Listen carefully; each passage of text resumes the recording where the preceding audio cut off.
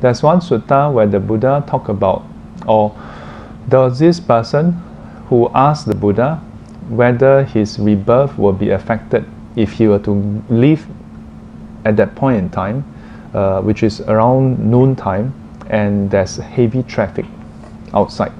And he was afraid that he might get knocked down by some elephants, by some cows or horse or some cats, And dying in this horrific way, he's afraid that he would be reborn in a, in a bad state. So the Buddha assured him and told him and asked him rather.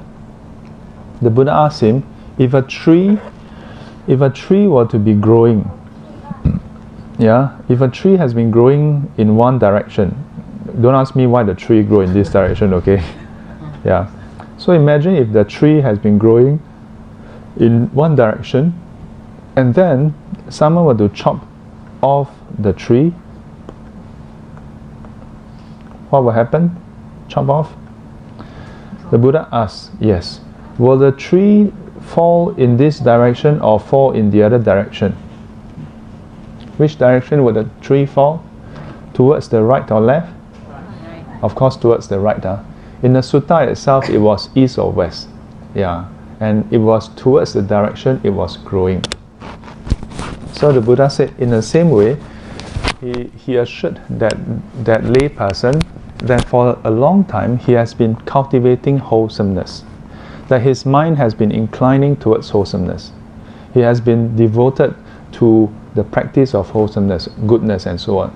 So even if he should die with uh, with this kind of uh, like unexpected death, sudden death, yeah, and even in a horrific way, or get knocked down by some elephant, trampled and whatever. He said he assured him that his rebirth will be towards the good place. Mm. Yeah. So this this is a this is from sutta. Yeah. So. Um, that's why all the teachings of the Buddha focuses on how you live your life and not how you die.